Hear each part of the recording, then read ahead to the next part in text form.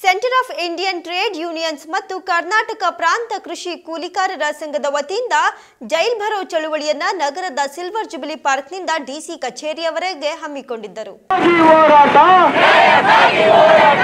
CITU ಜಿಂದಾಬಾದ್ CITU ಜಿಂದಾಬಾದ್ ಕರ್ನಾಟಕ ಪ್ರಾಂತ ರೈತ ಸಂಘ ಜಿಂದಾಬಾದ್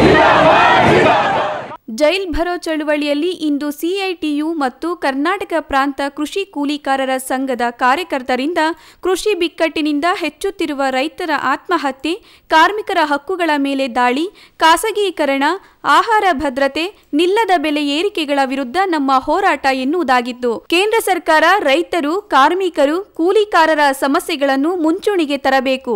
ಇಲ್ಲದಿದ್ದರೆ ನಮ್ಮ ಹೋರಾಟ ಇನ್ನೂ ಹೆಚ್ಚು ಅತಿರೇಕಕ್ಕೆ ಏರುತ್ತದೆ.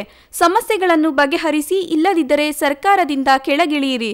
ನ್ಯಾಯ ಸಿಗುವವರೆಗೂ ಹೋರಾಡುತ್ತೇವೆ. ನಮ್ಮನ್ನು ಜೈಲಿಗೆ ಹಾಕಿದ್ರೂ ಸರಿನೇ ನಮ್ಮ ಹೋರಾಟ ನಿಲ್ಲದು ಎಂದು ಪ್ರತಿಭಟನೆಯಲ್ಲಿ ಕೇಂದ್ರ ಸರ್ಕಾರಕ್ಕೆ ಎಚ್ಚರಿಕೆ ನೀಡಿದರು. ಇದೇ ವೇಳೆ ಪ್ರತಿಭಟನೆಯಲ್ಲಿ ಪಾಲ್ಗೊಂಡಿದ್ದ ಎಲ್ಲರನ್ನೂ ಜೈಲಿಗೆ ಕಳುಹಿಸಲಾಯಿತು. ಪ್ರತಿಭಟನೆಯಲ್ಲಿ ಸಿಐಟಿಯುನ ಕುಮಾರಿ, ಜಿಲ್ಲಾ ಪ್ರಾಂತ ಕೃಷಿ ಕೂಲಿಕಾರರ ಸಂಘದ ಅಧ್ಯಕ್ಷರಾದ ಪುಟ್ಟಮಾದು ಹಾಗೂ ಸಂಘದ ಸದಸ್ಯರು ಮತ್ತು ರೈತರು ಭಾಗವಹಿಸಿದ್ದರು.